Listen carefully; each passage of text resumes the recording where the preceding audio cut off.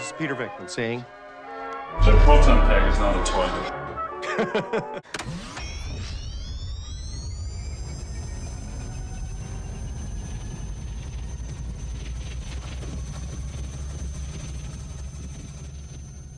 Hey everybody, welcome back to the Proton Pack is Not a Toy. My name is Matt, and this is episode 7 of the Venkman conversion, where I'm taking my Proton Pack and changing up some of the details of it to make it look more like the Ghostbusters 2 version of the Venkman Hero Pack. On today's episode, I will be taking my old LC2 Alice frame and swapping it out with an LC1 Alice frame. This LC2 frame is really the only frame I have ever used on a fully built proton pack going back to when this was a foam core pack and when it was an MDF and then when I upgraded it to aluminum and fiberglass all iterations of my pack have been with this LC2 frame. I bought it because I read on GB Fans that if you get an LC2 frame, it's accurate to Ghostbusters 2. And I was happy with that. And that's why I bought it. It was cheaper at the time and a little easier to find an LC2. Uh, the only issue is with that statement about it being accurate to Ghostbusters 2 is the semi-hero packs had LC2 frames, but the hero packs still had the LC1 frames that they used from the first movie. These were never swapped out on the hero packs, along with the shoulder straps. So the straps in the frame from Ghostbusters weren't swapped out for Ghostbusters 2 on the hero packs. The only thing that changed was the kidney pad and waist belt were upgraded to LC2s for the hero packs. There, there's more padding, there's a little bit more robust clip there for the waist belt. Uh, if you're looking for pictures to see the differences um, on screen grabs and stuff, if you look at the straps, that's the big tail on an LC1. You'll be able to see that there's this overlap, kind of an inverted V shape there on the top of the strap. And then on an LC2, it's just this straight line that's stitched on there. So that's the biggest tell. Easier to see that than it is to see the differences in the actual frames. Uh, but if you are in the in the wild hunting for a frame, then you can see that one of the big differences on the LC2, this crossbar does stick out quite a bit, whereas on the LC1, it's pretty much flat all the way across. Another thing, uh, I painted this one black. Um, I don't think that black was an available color for the LC2 frames. You can see them mostly in green, sometimes in other colors, um, but the standard black is what the LC1s came in, so you don't have to paint an LC1 frame. So this was a green one, like I said, I did paint it black. So what I'm going to be doing in today's episode is taking off this neck roll. I'll put that on the new frame and then I will take off the kidney pad and waist belt. That'll go on the LC1. I've got, like I showed you, a new set of LC1 straps for the shoulders that I was given by a viewer here on the channel, and I really appreciate that. Thank you very much. You know who you are. And um, there's a couple other things that I'll go over here on this episode, and I'll get to those in just a second. One thing I wanted to show you though is something that I've already done and you can kind of see it if you're looking here in the foreground. If you can see the bare aluminum here on the um, motherboard here in front of me, this is something that I've already taken care of. When they first built the proton packs for Ghostbusters, there were spacers in between the motherboards and the Alice frames. For the two holes at the bottom, there were two and a half inch by one and a half inch blocks. And then for the upright, there was a two and three quarter inch by three quarter inch half circle, sometimes called half moon spacer. When they redid the packs for Ghostbusters 2, they took off those spacers, which had been on the pack when they were originally painted. So when those spacers were taken off, the bare aluminum was still showing and they did not paint over that. So that is one of the details that I am adding to my pack here. I'm not repainting anything, but what I did decide to do was to make templates and put those over the holes in the right places and then sand the paint off of my motherboard in those areas to make it look like those original spacers from the first Ghostbusters movie had been there, had been painted over, and then taken off. And so that's the look that I'm trying to mimic here. Like I said, I made my own templates, put those over the right places, taped them in place, and then first used a sanding block to take off most of the paint, and then I went back afterwards with a X-Acto knife to kind of trim up the edges and make them look nice and clean. Uh, going back and look at the pictures, the lines aren't super clean uh, where the spacers were taken off, so I probably have mine a little too detailed on the edges there, but I'm happy with the way that it turned out. So you can see here how it turned out with those sanded off in those three specific places. The next thing I'm going to do is to drill a hole here on the upright of the LC1 frame. The original packs had the two mounting points here at the bottom, but they drilled holes in the upright to have the third mounting point to go from the frame to the motherboard. This can be a little dicey you take out too much material or if you're using a frame that is low quality. Sometimes these can snap right at that point. So you don't want to drill a hole too big and uh, you just got to be careful with it because you don't want all of your hard work on the back of your pack to be hitting the ground because you didn't take care of your frame. Um, I've already gone and measured the distance between the crossbar and the hole on my LC2 frame and everything for the crossbars lined up. And so it was about two and three quarter inches I believe. And I've drawn a line there on this painter's tape.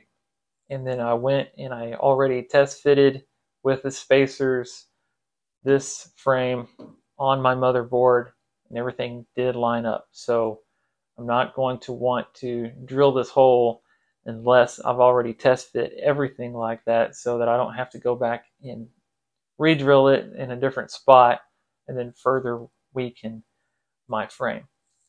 With that being said, I do have my drill ready to go. I'm using a 7 30 seconds drill bit, and then I'm going to be putting a quarter 20 uh, bolt through that hole. So it's going to be pretty tight. I might have to use the bolt to loosen it a little bit once I do have it drilled, but I would rather it be tight than to be uh, too loose and wobbly. So that being said, I'm going to lay this down here. And I don't know if you can see on the video, but this is the line that I have uh, marked for it. There is an indentation that goes right down the middle as well on these frames that is already built into the frame. So the drill bit's naturally going to try to find its way to that spot. That's why I'm drilling it from this side.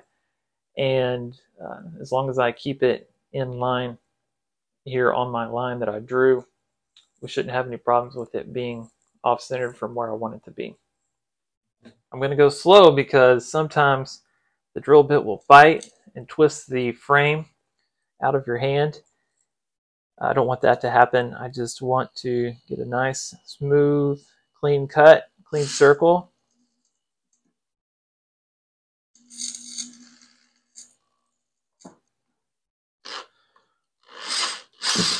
All right, now I've got my hole.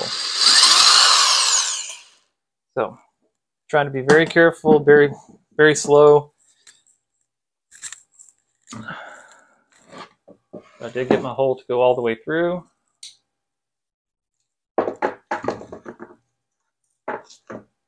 Maybe not dead center on that line, but within an eighth of an inch. It was really close.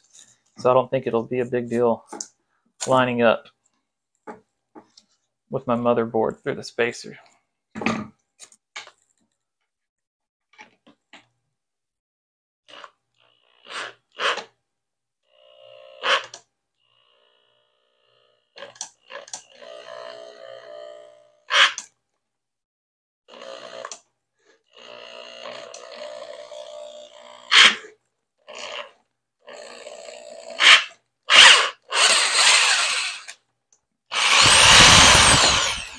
There. Now I'm going to have that snug fit that I want. That's perfectly the size of that bolt. So that's all the drilling I'm doing today is that one hole there in the LC1 frame. Next thing I'm going to do is take the waist belt and kidney pad off of the LC2 frame, then I'll transfer that over to the LC1 frame. I did make a video a long time ago about how to take these off and replace them or put them on. And uh, you may have seen that here on the channel. Uh, I haven't done one of those since then, so I do have to pay attention to the way that it comes off and try to put it back on again the same way the way the pads are, there's a, I don't know if you can see, there's a little folding part right there. And uh, when that stretches it out to be nice and tight. But when you fold it over, that's when you can really see the way that the uh, the webbing straps around the uh, clip there. So the excess goes around the back and then it comes through on this side through this slot.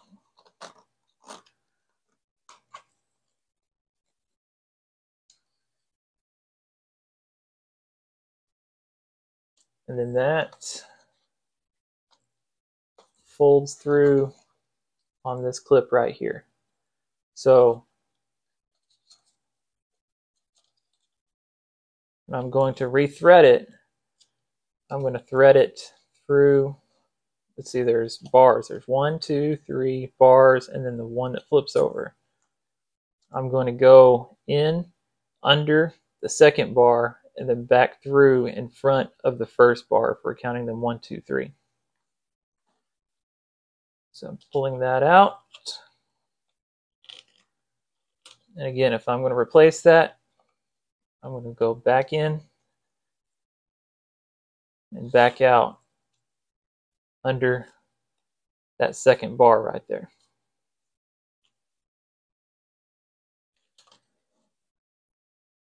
Now, these just come out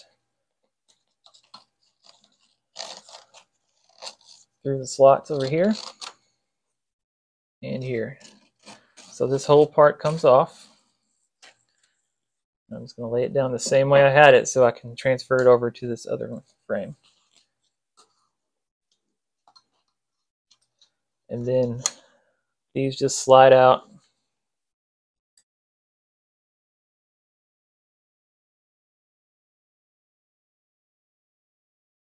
I'm going to leave it face down and take the LC1. It helps to kind of leave those flapped open right here for these to fit through. It gets kinked a little bit if you have them turned. As you can kind of see there. There.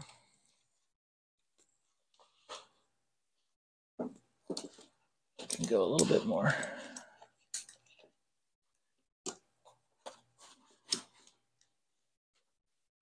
There.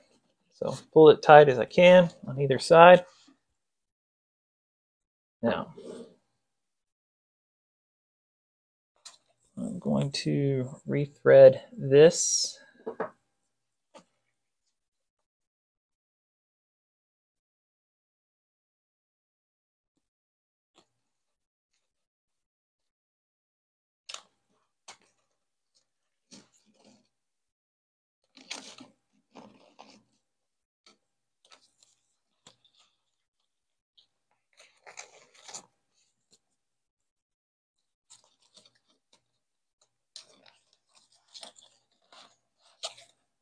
Okay, so I'm back to the situation I was in before.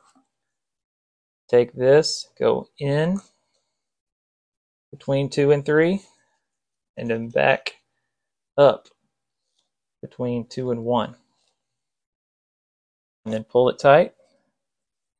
And then I'm going to take this part, and that's going to thread back through here again.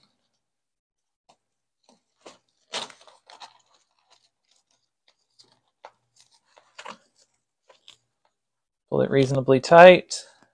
Kind of have this set towards the middle because when you flop this over, it's going to really tighten it and hold it in place. And you can slide it around a little bit, but that about does it. Hopefully you were able to see a little bit of that while I was working.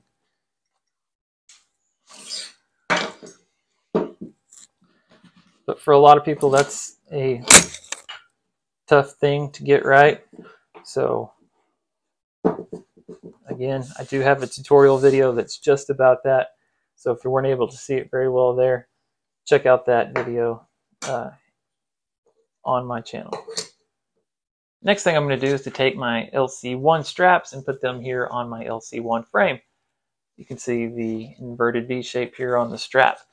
Uh, make sure when you put them on that you do have the taper going from your shoulder to your hip. So this is the left side. This is the right side. The difference would be on the stance pack, they were swapped. Uh, some people think it's because the quick release was on the opposite side was the reason that was different for the stance pack because Danny Aykroyd's left-handed. I don't know if that's the reason why, but uh, it might just be a coincidence. To put these on is pretty easy. Um, I did check the details to see which way they went through the frame itself and uh, make sure everything goes through the right holes because you do have a few choices here on the sides, whether you're going to use the circle or the triangle shape and uh, where you want everything to come out. So I'm going to start with the left one. And the detail that I did notice was it needs to come out at the bottom here from the inside. And then the rest of it just goes through this loop.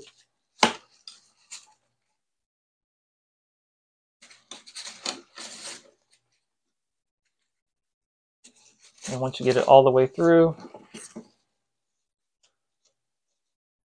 you just bring it down as tight as you can.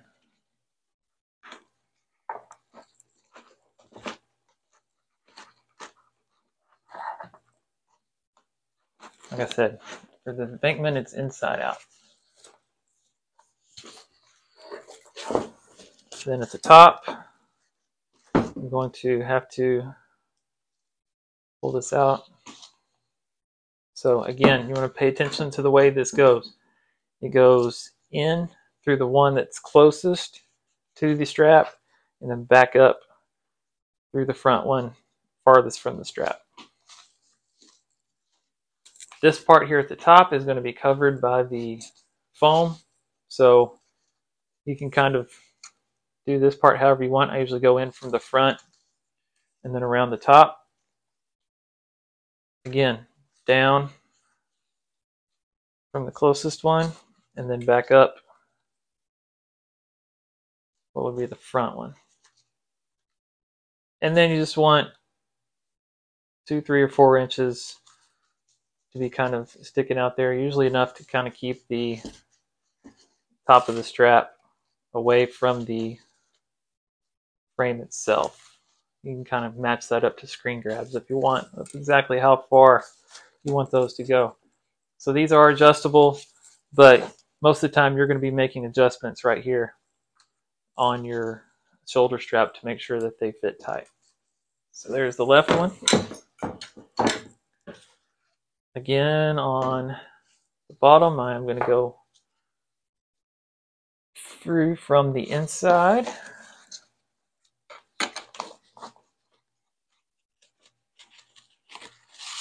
Everything through the hole. If you're going to buy straps, separate from the pack, it can be hard to match up specific colors. Just do the best you can. Check your stitch patterns. Make sure those are about as close as you can. Most people aren't going to notice the difference. If you're lucky, you can get a frame that still has its original straps on it. That's the best case scenario because those straps most likely will be identical. More often than not, you're going to have to match up the best you can on straps. These aren't 100% identical, but if I hadn't told you that, you probably wouldn't know. So this one has a little bit less material here on the top, so it might not stick out quite as much there. But I can always go back and check that.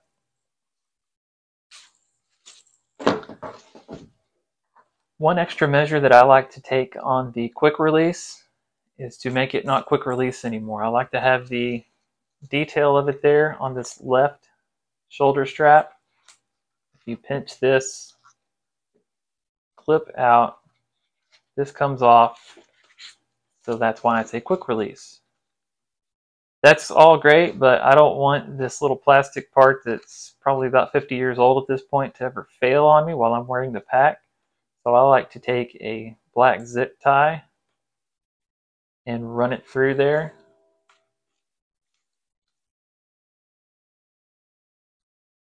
And clip that off once I get enough of it in there so you can't really see it. But then when I put the plastic quick release back in, it's never going to release without me wanting it to. So that's a nice little hack that you can have and not have your quick release releasing when you don't want it to and having your pack swinging off of one of your shoulders without your permission. Clip that off. Kind of turn around the, the head of it. And you can't even really tell that it's there. But even if this comes off, that's not going to easily come apart. Just something I like to add that you might want to add to your pack too, just as a safety measure. The next task is to take the neck pad off of the LC2 frame and then I'm going to transfer that over to the LC1. I found that the gaffer's tape that I used on this, you may have watched the tutorial that I did here on the channel a while back. I'm not super happy with this gaffer's tape. I've kind of asked around to see if anybody has some that holds any better, but I haven't really come up with a good source for it. Uh, one thing that I did find that kind of works is to parts where it does start to peel off on its own. I do put some double-sided uh, kind of scotch tape or I have some super glue tape that you can put in those areas and it will keep it from coming off on its own. So I'm going to try to tape this one up a little bit better I have a bad habit of using the neck roll to pick it up when my pack is on the ground. Um, so that causes it to kind of have finger marks and be creased up, which doesn't look accurate or good. Um, another thing I've done to kind of keep the circular shape in there, I've put some cardboard tubing in there to kind of help it maintain that shape, which isn't accurate to the real facts, but again, something that I've just done kind of as a hack for myself. So that's removed from LC2. You might notice that it's black here on the ends and on the inside. The Heroes actually had white and then they painted over the ends. Um, I do have a white one for my Spengler that I'm going to build for my Max Factory pack. Um, GB Fans is currently out of the white kind, so I'm just going to continue to use this black version, even though it's not 100% accurate. The tape is going to pull up some of the foam. I'm not too worried about it. If it's just on the surface here on the round part, that's not horrible. I just don't want it taking off too much here on the end caps. A lot of times the hard part can be to get this little area to look right. So I'm going to go this way around in these four spots and then I'll go back across lengthways to make it look like it's supposed to look. But this is going to help it hold up a little bit better in that area. This is a good time to mention that in Ghostbusters 2, for a lot of the scenes, they did have what is referred to as super straps, where there was a lot more padding that was added to the LC1 straps uh, for later in production of the movie. And then on the neck roll, it was a lot more robust as well. That's not the look that I'm going for with this particular pack, although that would be accurate to Ghostbusters 2 and the Venkman Hero as you do see it today. Uh, this is also still accurate to have it more closely look like the the neck roll and the pads from the original Ghostbusters.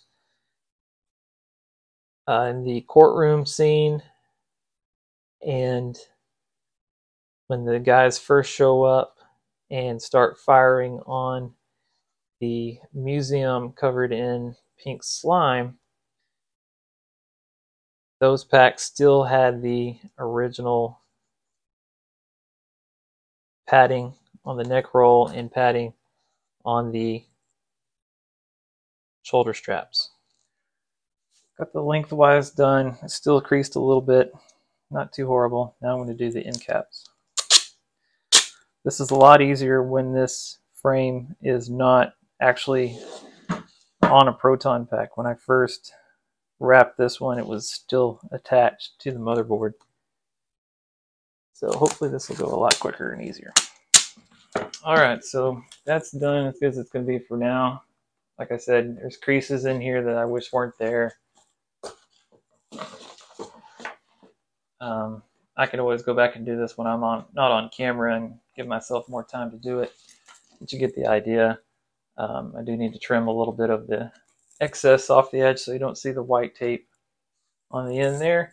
But for the most part, that's how it's going to look for the foam there on the top of my LC1 frame. Now comes the time we've been waiting for where I'm actually going to put the frame on the motherboard. I have my hardware here ready to go.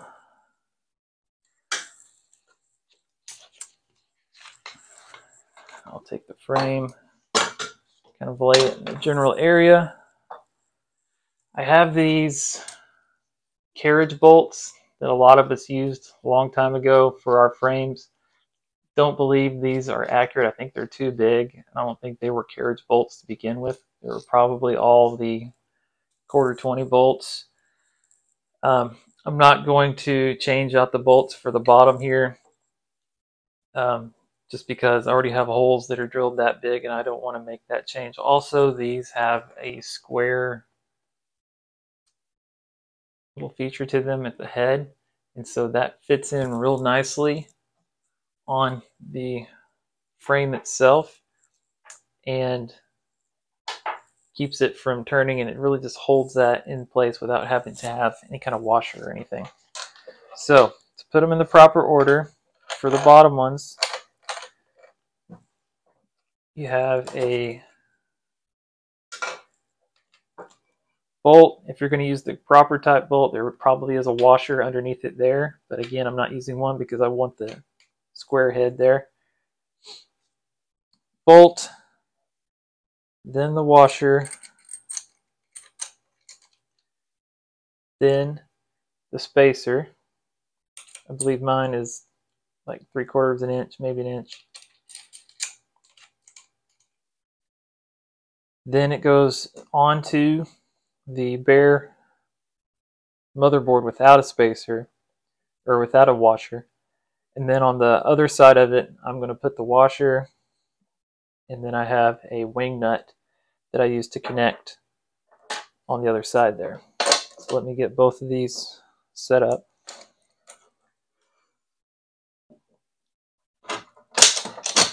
And those go in the holes right there in the motherboard. Now I'm going to line up the top hole.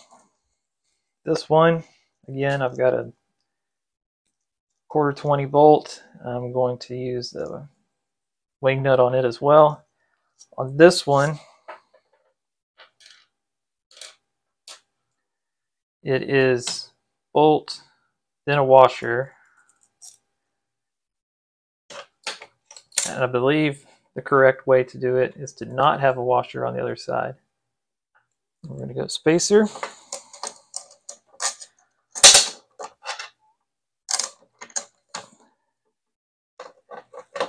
Motherboard hole and it does line up. So that's always happy. Now it's going to have a little play here. And as I tighten it I can kind of direct where exactly I want that to go so that my motherboard isn't crooked on my back. If you saw the last video you know that I had a mounting hole here in the split loom. So I'm going to feed this bolt through that.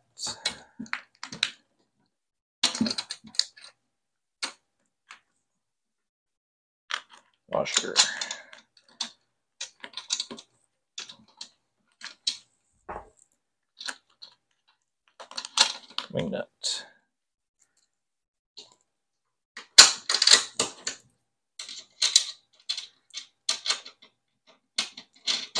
That one goes a lot easier because I don't have all that junk in the way. And then again, the top here. Make sure that's in there all the way. And tighten down the wing nut. Then I usually do put a little tape or something over this one just because if any of the wires or the battery or anything get in contact with this, I don't want any issues.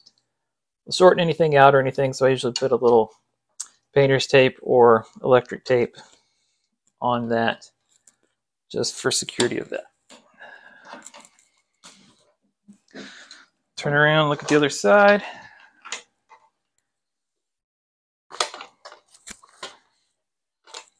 All right, I've got one more thing that I want to do to kind of give this some authenticity. It's not an exact replica of what we're going to see on the Venkman pack, but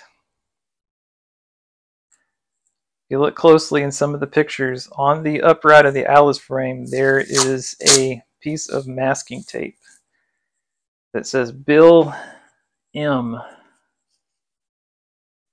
And I'm going to put tape in that same area. It's generally from here on these little bars down, so it kind of is hidden on this part of the upright. And it's supposed to look a little torn on the end. I'm not exactly sure how far down it goes. I'll just tear it at a random spot, stick it down. And I was kind of debating, do I put Bill M on here since I'm making the Venkman pack? Or do I put my name and last initial on there? And I've decided I'm going to put my name and last initial just because on my uniform I have my name on the patch. I don't have Venkman. So as I'm trying to replicate the Venkman pack. I'm not necessarily trying to be Venkman. So uh, this is going to have my name and my last initial.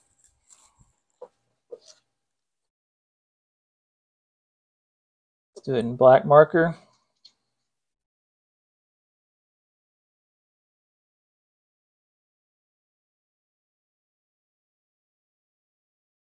It doesn't have to look pretty. So there you go.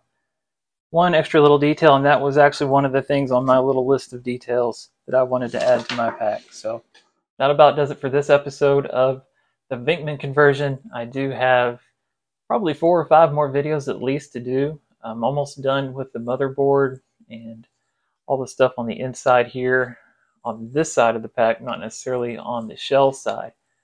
Um, I do have to put the XLR plate and the electronics and stuff back in here.